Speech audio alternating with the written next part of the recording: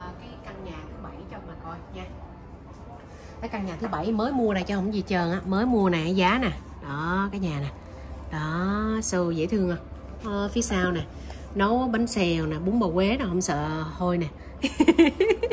Nó kế bên cái nhà mà 2019 mà chị mua cho hai nhân viên của chị ở đó. Thì cái nhà này á lần đầu tiên trên bị trả hố nhưng mà thực ra nó hố, không phải là hố mà gọi là trong cái thị trường mình lúc mua đó, nó nóng hổi quá, nên mình phải đôn lên hơn 15 ngàn.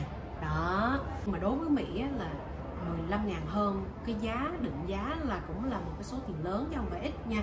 Nhưng mà đôi lúc mình chịu chơi mà, mình chân dân chơi mình đâu sợ mưa rơi. Ok.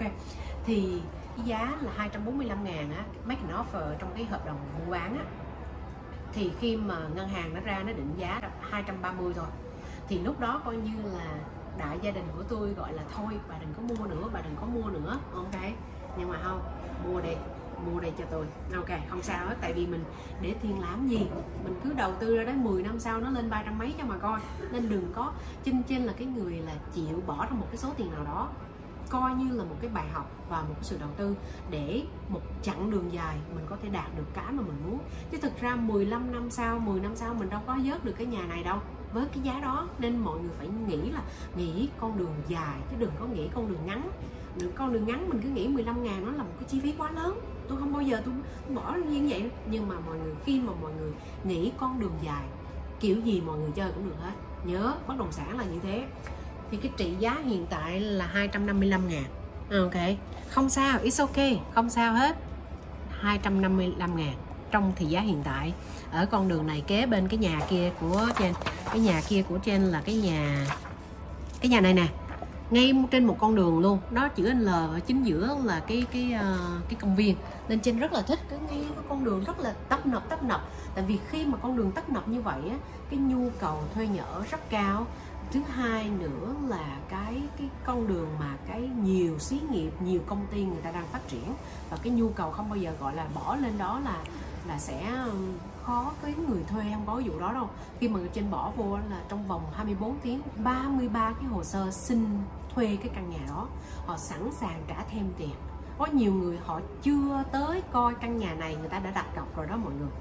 Mọi người thấy kinh khủng khiếp không? Nhiều người từ Florida bay tới, người ta đi công tác mà. Rồi người ta chuyển công tác, relocation cái job của họ, chuyển địa chỉ công ty đồ này kia, đủ thứ cái situation hết trơn á.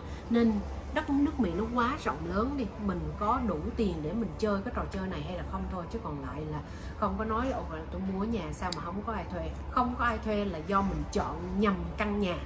Trong cái khu không có sự traffic về cái sự giao thông qua lại và không đủ cái công việc làm ở chỗ đó. Chứ mình chọn những cái chỗ mà địa điểm, location tốt thì không có nào mà thiếu người thuê hết trơn á. Ok?